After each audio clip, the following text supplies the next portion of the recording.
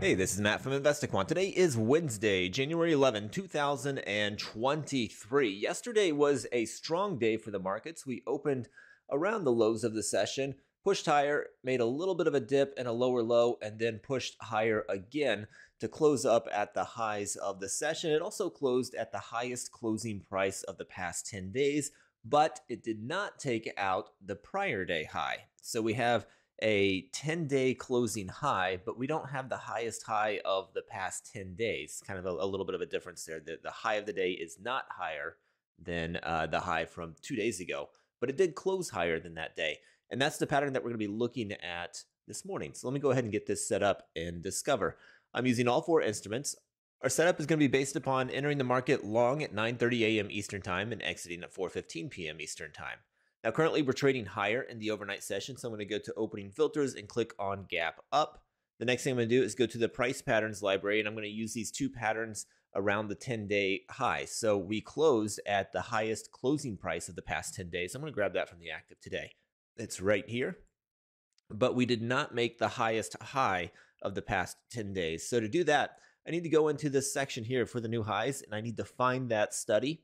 And if I scroll down just a little bit, it's going to say day after the highest high of the past 10 days. It's right here. I'm going to hit the minus sign next to that. That's going to make it a not statement. So it'll look at everything except the days that made the highest high of the past 10 days. All right, so I've got that selected. Now I'm going to click on indicators. And yesterday closed below a 200 day simple moving average. I just grabbed that. Now I can click view results.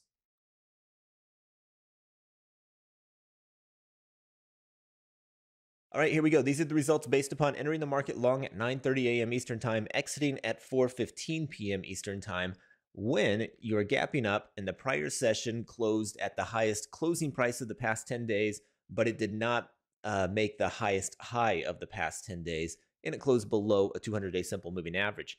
This pattern's only taken place at 17 times in our database, and that's with data going back to 2003 there. Uh, so 17 samples for the S&P, 16 for the Nasdaq, 13 for the Dow, 26 for the Russell. If we look at the win rates on them, three of them are similar with one outlier. So the S&P coming in, 65% of these have closed higher than the opening print the next day. For the Nasdaq, it is 25%.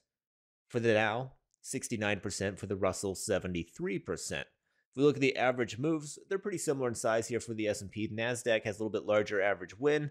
Uh, for the Dow, the win is a little bit uh, larger on average, and Russell has pretty similar uh, size moves in either direction here. So uh, the average size win or versus loss is a bit mixed. If you look at the win rates, three of the four have been strong, with the Russell being the strongest and the NASDAQ being the weakest.